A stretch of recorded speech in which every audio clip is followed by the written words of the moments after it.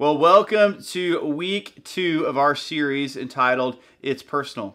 And one of the things that makes us each unique is the things that we enjoy, the things that we're knowledgeable about, the things that we love. And for me, uh, there are certain things, just like you, that I know a lot about. And there are also, at the same time, things that I just don't know very much about.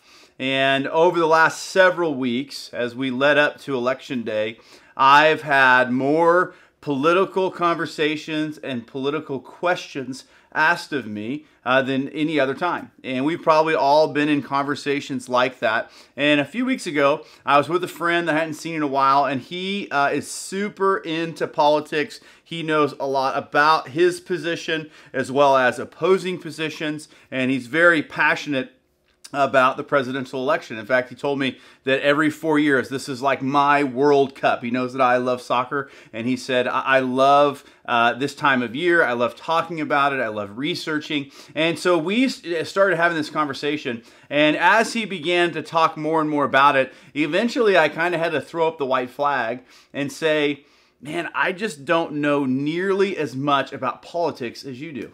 I, I care about our country and I'll pray for our country, but he and I are just a little bit different. He loves politics and I honestly just don't. And so I had to kind of tell him I don't have anything else to offer in this conversation. We are all unique people.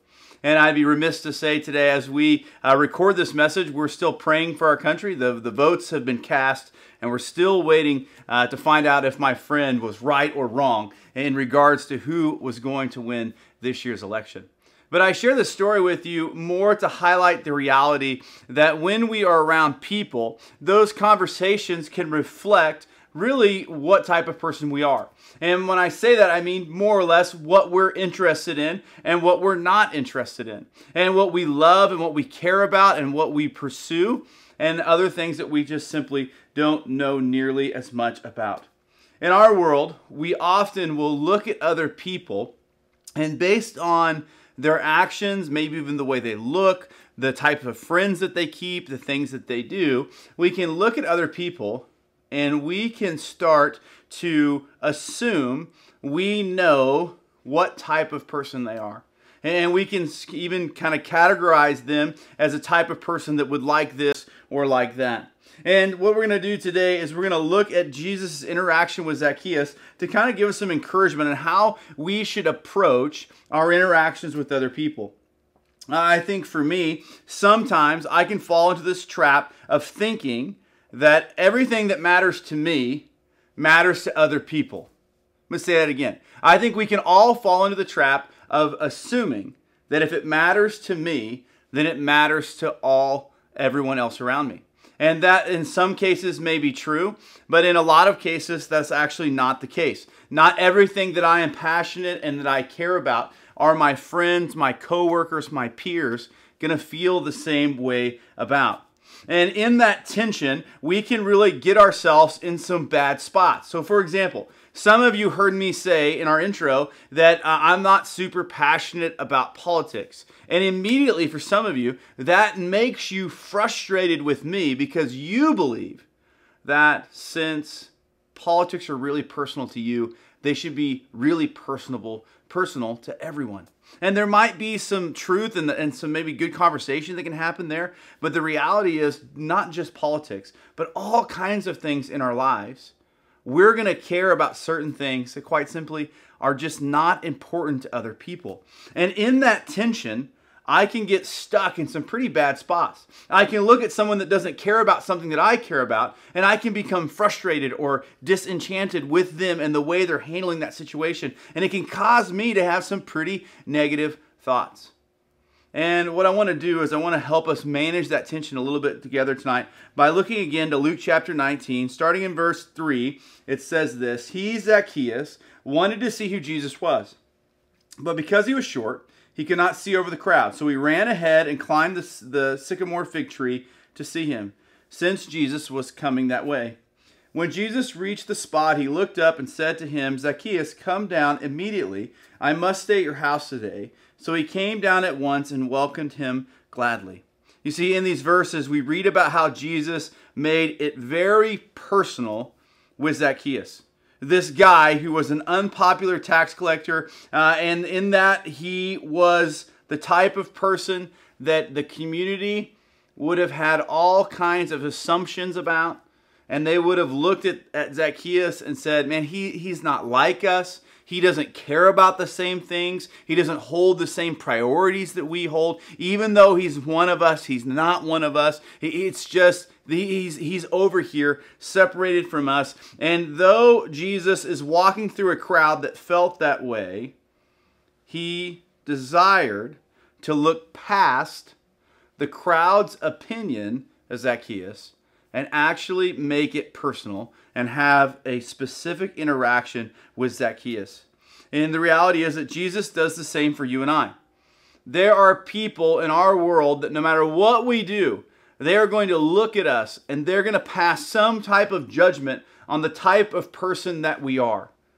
And if we're being honest, a lot of times those people don't even really know everything there is to know about the type of person we are. They, they, they don't know us in a personal way. They don't know what our passions are. They don't know uh, what we care the most about. They don't know the types of priorities that we're setting in our lives, but they look at us from afar and they make assumptions and judgments about the type of person that we are. And I want you to understand something that no matter what other people think about you, Jesus looks past all of that stuff. He looks past the way in which the world looks at us, and he looks at us in a far more personal way. He knows what matters to us, and he truly cares about who we are deep down as people. We live in a world where we can really get caught up on the way in which we're perceived by other people. And Jesus moves past all of that. He doesn't see us like other people see us. He sees us for the real type of person that we are. And we can make it personal by engaging in our relationship with Jesus on an authentic level. So for me, there's really kind of two main points of application when we think about this idea of Jesus knowing us in a personal way. We know that Jesus knows what matters to us, and because of that, we can make it personal by investing in our relationship with Him on a real level.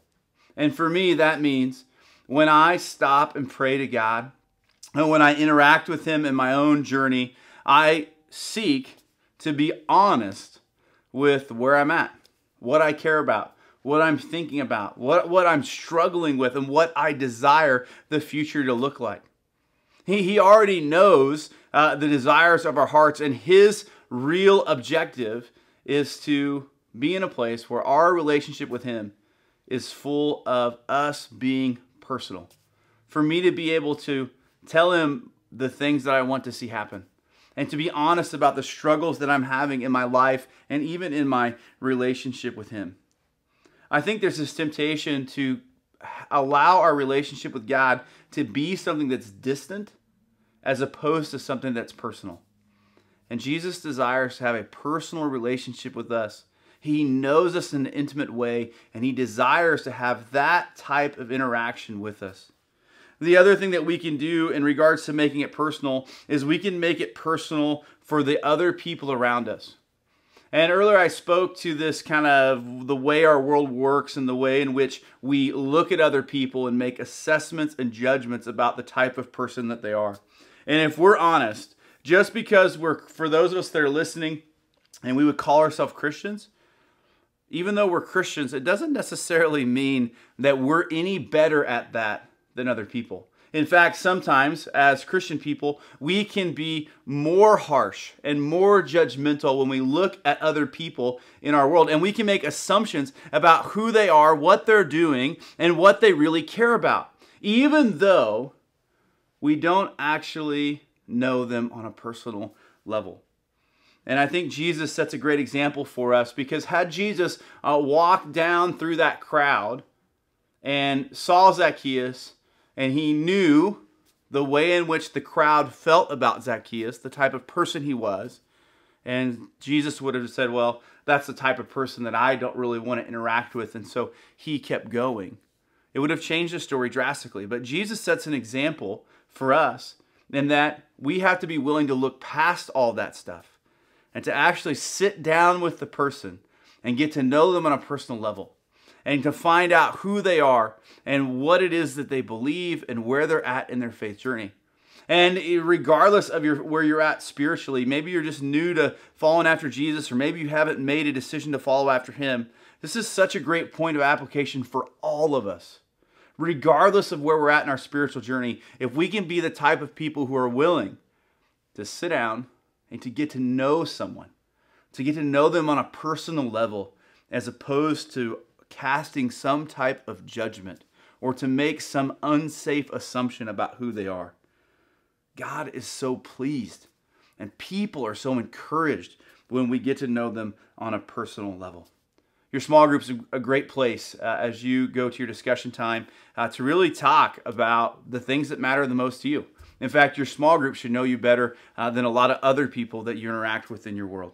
Let me pray for us. God, we love you. Thank you for today, and we thank you for the reality that you know what matters to each one of us. And God, we pray that we are willing to have a personal relationship with you, and we're also willing to get to know other people around us on a personal level. It's your name that we pray. Amen.